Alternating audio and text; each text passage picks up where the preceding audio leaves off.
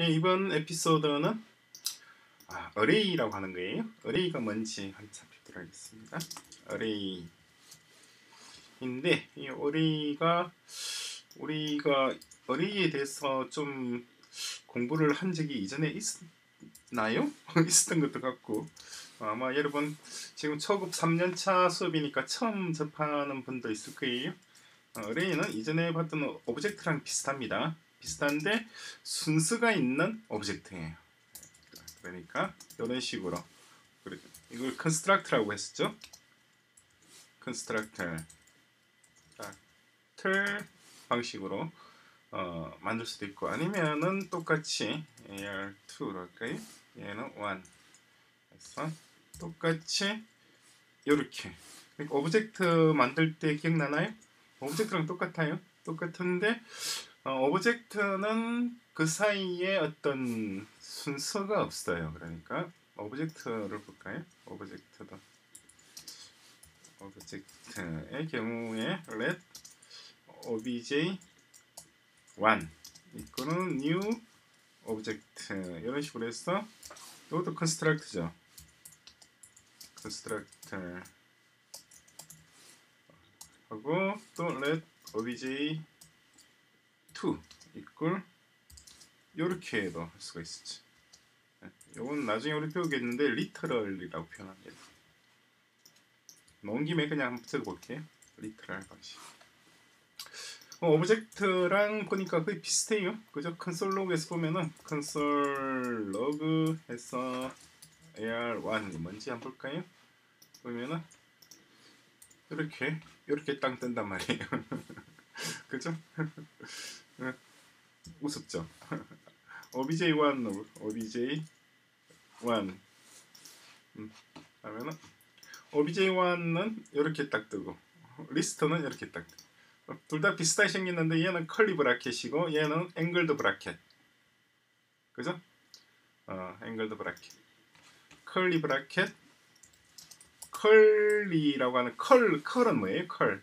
컬은 곱슬곱슬한 걸 컬리라 컬리 하면은 곱슬한 브라켓.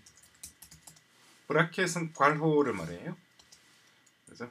얘는 angled. angle은 뭐죠? angle은 각도의 각도. 어, 각도. 삼각형 할 때 그 각. 사각형. 각이 4개 있으면 사각형, 3개 있으면 삼각형. 앵글드 브라켓이라. 용어들을 잘 익혀두세요. 여러분들은 초급 3년차니까 어, 용어들을 익히는 게 제일 중요해요. 이 시기에는. 나중에 그래서 다른 프로그래머들과 얘기를 할 수 있는 게 되겠죠. 자, 근데 이것을 이제 two도 같이 한번 내보죠. two, two 지우고 저장하면은 이렇게 이렇게 이렇게 다 똑같단 말이에요. 그죠? 얘랑 얘랑 같고 얘랑 얘랑 같아요. 그러니까 obj1하고 obj2가 같고 array1하고 array2가 같아요. 근데 array는 object랑 거의 모든 것이 다 비슷한데 그럼 왜 이런 걸 쓰느냐 하는데 그러니까 어, 우리가 let heroes 그래서 이걸 이렇게 적을 수가 있는 거예요. 이렇게 누가 있나요? 슈퍼맨 히어로즈가 위에 누가 있다고 지금 듣네요. 여기 있나 보네요. 어디 있나요? 아, 여기 있군요. 여기도 있고 또 어디 있나요? 또 히어로즈가 좀 있을 것 같은데 여기 있네요. 됐습니다. 이제 에러 메시지가 안 뜨죠? 예. 슈퍼맨 그리고 배트맨 그리고 엑스맨 이런 식으로 딱딱딱 넣어주는 거예요. 그런데 얘들은 어 object랑 비슷해요. object랑 비슷한데 object 같은 경우는 우리가 기본적으로 키가 있고 그런 다음에 value가 뭐가 하나 들어갔었죠. 이런 식으로 구성되어 있었단 말이에요. 그런데 어, 리스트 같은 경우는 여기 있는 키가 사실상 눈에 보이진 않습니다만은 이런 게 들어있다고 봐야 돼요. 제로 슈퍼맨 들어있고 1 해서 배트맨 들어있고 2 해서 이렇게 들어있어. 그러니까 지금 다 에러가 떴잖아요. 에러 뜬게 이런 식으로 표현하면 안 된단 말이에요. 리스트는. 눈에 보이지 않게 있을 뿐이지 눈에 보이지 않게 있는 것을 눈에 보이게 이렇게 드러내면 안 되는 거예요. 있기는 분명히 있어요. 그죠? 그래서 우리가 heroes one 어, console log 할게요. console log 해서 heroes에다가 첫 번째 element 이렇게 표시하는 거죠.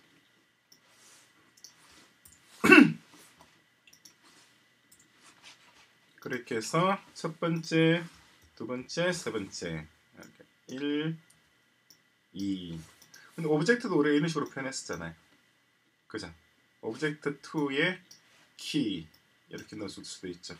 object 2 하나 넣어볼까요? 어, obj obj2의 키가 키 지금 이렇게 하면은 에러가 메시지가 뜨죠. 자, 요 요건 어떻게 표현했었나요? 음, 이렇게 해주면. 점 키. 이렇게 하거나 아니면은 굳이 앵글드 브래켓을 쓰고 싶다. 그러면은 이렇게 하고 안에 있는 녀석은 이렇게 인형부로 넣어주면 되죠. 그죠? 그러면은 저장해 보겠습니다. 하면은 value 얘가 나타나고 value 키 그리고 제로 해서 슈퍼맨 1번 해서 배트맨 2번 엑스맨 나타나죠. 그러니까 objec, object에서 키 역할을 하고 있는 것이 리스트에서는 번호가 1번, 2번, 3번 이런 식으로 주어져 있는 건데 object는 키가 이렇게 보이지만은 눈에 보이긴 드러나 있지만은 리스트의 키는 눈에 보이지 않게 있다는 거죠.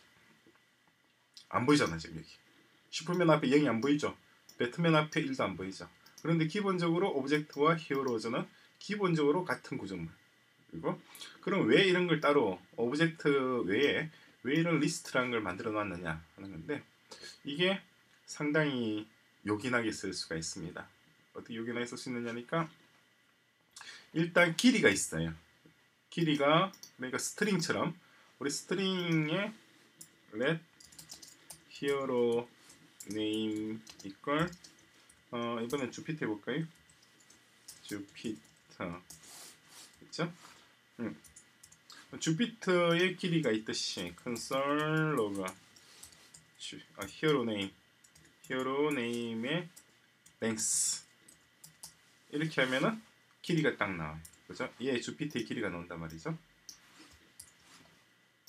그리고 히어로즈도 마찬가지입니다. 히어로즈도 히어로즈 랭스 하면 길이가 둘 다 볼까요? 저기서 보면은 위에 거 이 녀석은 길이가 7 얘는 길이가 셋 element가 하나 둘 세 개 주피터는 캐릭터가 element가 되는 거죠 하나 둘 셋 넷 이렇게 주고 일곱 개 그죠? 그러니까 리스트라고 하는 것은 우리가 알고 있는 string과 우리가 알고 있는 object 그 두 개를 결합해 놓은 것이 리스트입니다. 왜냐니까 object 2의 길이를 알고 싶다. 그래서 obj2 j2 이러면은 바로 에러가 떴죠. object는 길이를 알 수 있는 게 아니란 말이에요. 그죠? 얘는 우리가 보기엔 길이가 1인 같은데 1이 아니에요. 그러니까 object는 어, 길이를 측정할 수 있는 그러한 대상이 아닙니다. 아, 이거 지금 선생님이 설명하는 얘기를 잘 귀담아 들어놓으세요.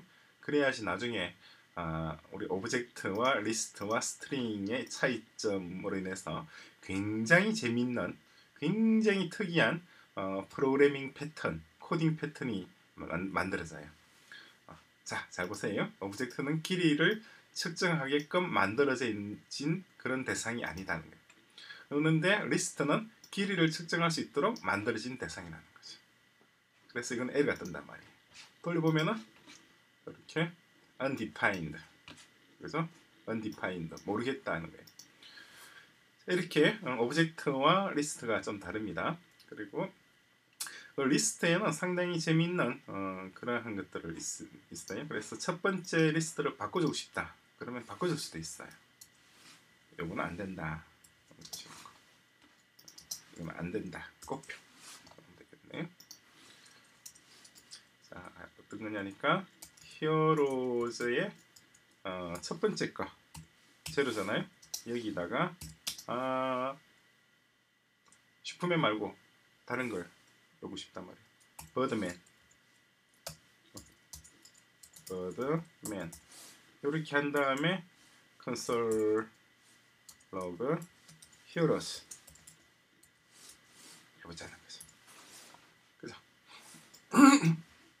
지워놓고 자 저장을 하겠습니다. 그러면은 보다시피 버드맨, 배트맨, 엑스맨으로 바뀌었어요. 원래 슈퍼맨이었잖아요. 슈퍼맨 자리에 버드맨이 들어갔죠. 이건 무슨 말이에요? 우리 예전에 mutable이라고 하는 말 기억나나요? 그죠?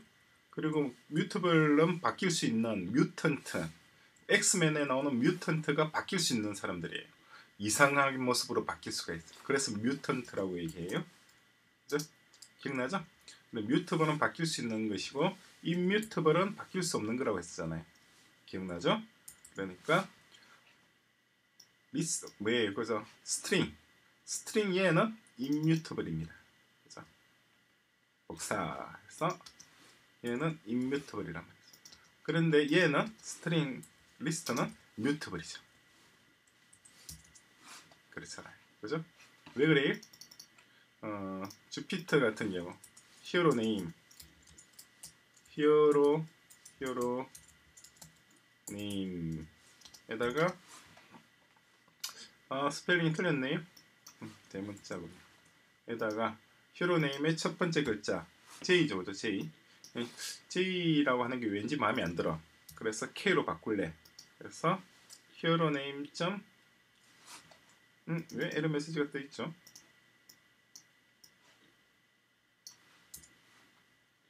다시. hero name의 제로. 이게 뭐였나요? 제로가? 우리가 출력했었죠. 히어로 히어로 네임의 어, 랭스를 작성했었지? 그죠? 이 제로는 이겁니다. 이거. 이거 녀석을 K로 바꾸고 싶다.